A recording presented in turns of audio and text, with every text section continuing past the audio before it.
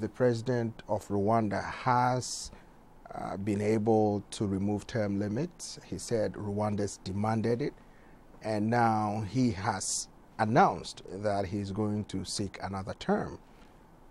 Is this what Rwandans want? Rwandans want uh, a democratic and prosperous Rwanda. You know, they need the government to be held accountable.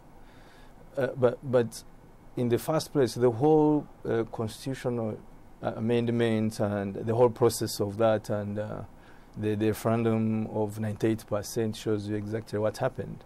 We, we have a society in Rwanda where uh, the whole society is living in fear. And uh, there is no freedom of speech, expression.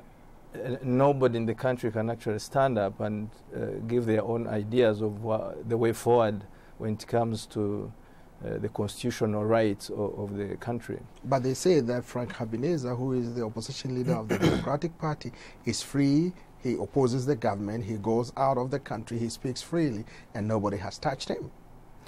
Yeah, but what the, what's the impact? What has uh, Frank Habineza, the Green Party, what, what have they really achieved? They tried to uh, decampaign the referendum or the constitutional changes. Uh, but look, what happened? They gave him uh, between the approval by the parliament and the referendum date, it was about four days. Could you actually have enough time to go around Rwanda and educate people about the changes in the constitution and thereafter come to a, a, a vote whereby probably you're going to cause change? And it's not about the Green Party. Talk about other opposition parties, the so-called opposition parties in, in, in Rwanda. But some of them asked for the president to run for a, a, another term because he brings stability, development, peace, among other issues that he makes people feel that they are part of a democracy. You, you doubt that? Uh, exactly. That answers our question. Why should uh, an opposition party ask uh, uh, Kagame to continue running?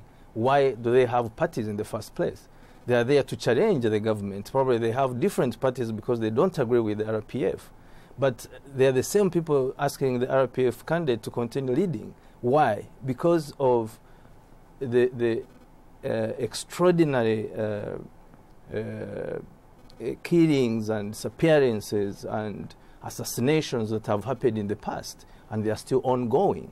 So the RPF candidate, or the president for that matter, decides uh, for each and every opposition party who is going to get a place, who is going to be in the parliament, who is going to be an ambassador, to the extent that he actually uh, gets a leader of a, a, political party or an opposition party and sends him to, to be an ambassador somewhere. An example is uh, uh, Mitari. But the government said over 4 million people unanimously petitioned the parliament to have the constitutional amendment. And because of that, the president also said that Rwandans are free to decide what they want to do, and they decided there's a need for constitutional amendment because of the stability he brings to the country. Why do you why do you doubt that? First of all, there's no democracy because there's no way we, we we are going to measure this without freedom of speech and expression and media. See what he has done to the media. The radios and TVs we have in the country, they are all run by uh, the RPF there are a few who could say this and this, and it's just a matter of time here. Everybody is missing. Some of these journalists have been missing. Others are found dead. Others just, you know, accidents, uh, and so on. So, once we can't uh, hold um, uh, this government accountable, once we don't have independence towards the, the branches of government, uh, the judiciary and uh, the, the parliament, then uh, this is all from Kagame. He runs everything, RPF controls everything.